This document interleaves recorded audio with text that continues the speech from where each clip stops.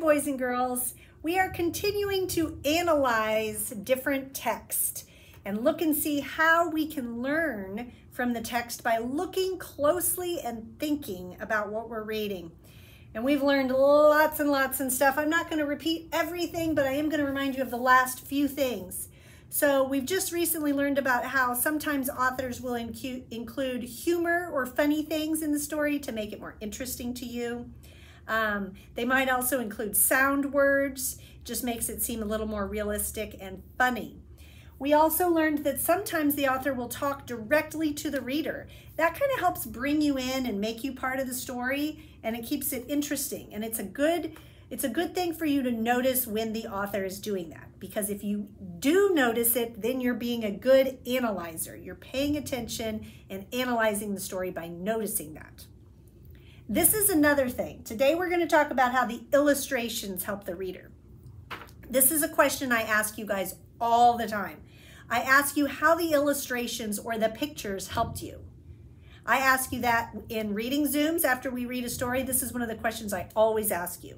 When we do these reading tests, when you read at the end of the book, I almost always ask you, how did the illustrations help you? Okay? So I'm going to show you how illustrations help you so you can answer those types of questions better and be better at analyzing how the illustrations are helping you, okay? So let's start off with this book, Good Night Gorilla. I'm pretty sure I've shown you this book before, but I want you to look closely at the illustrations because we're going to notice how they help you. So this book, first of all, is mostly a wordless book. Good Night Gorilla now, right away, the words are only saying good night, gorilla.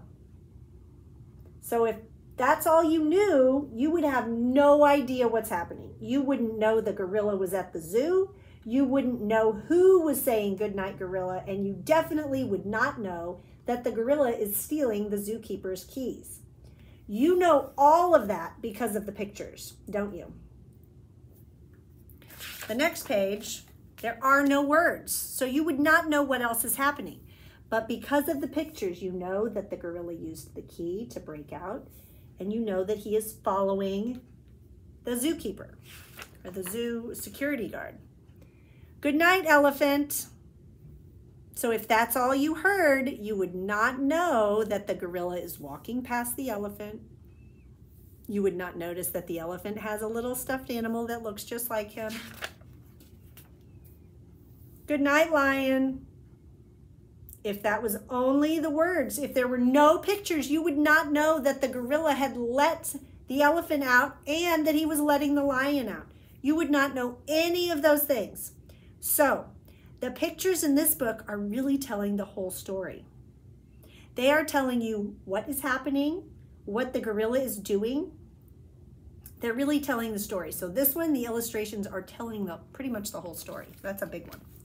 Okay, look at this one. Oh, another one of my favorite books. I want my hat back.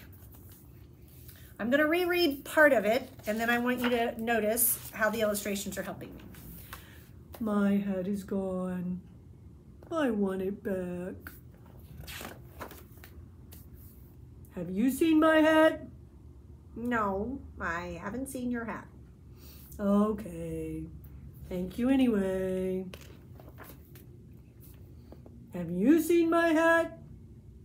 No, I have not seen any hats around here. Okay, thank you anyway.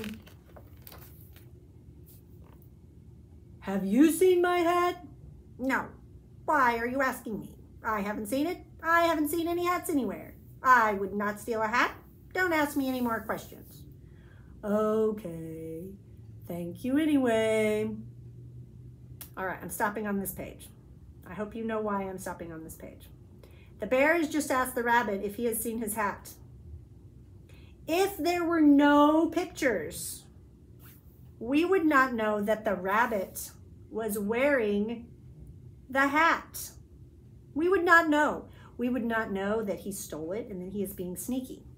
We would not know in this point in the story, when the bear is describing the hat and saying it is red and pointy, we would not we would not realize, oh, the rabbit has it. We wouldn't know that.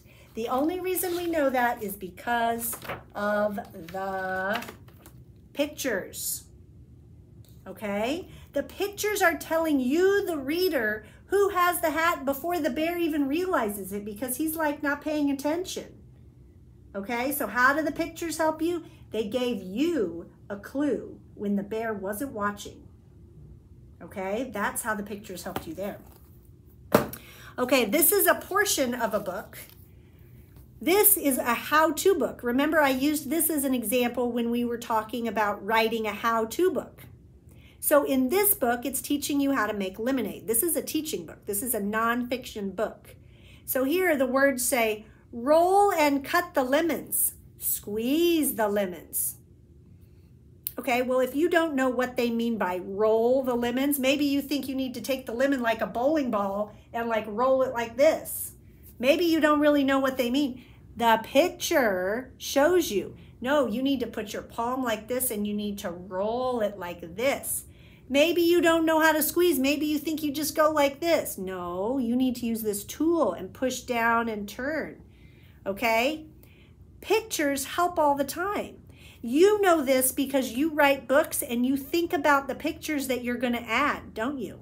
You plan and you make the pictures a certain way on purpose to help the reader. Well, the author does that too. You're just being the author. Okay, so here the author is helping or the illustrator is helping you know how to do the process in this teaching book. Okay, so I'm going to be giving you a book and I want you to look at it and uh, I'll try to get one that listens, you know, that you can listen to and see, flip through the pages. And I, I want you to tell me how the pictures are helping you understand the story because this question can be asked in almost every single book a teaching book, a fiction book. The pictures are always helping you somehow. I just need you to recognize how they're helping you. There are some examples better than others for sure. But tell me how the book I put on the student page is helping you, how the, how the pictures are helping you understand the story. Okay?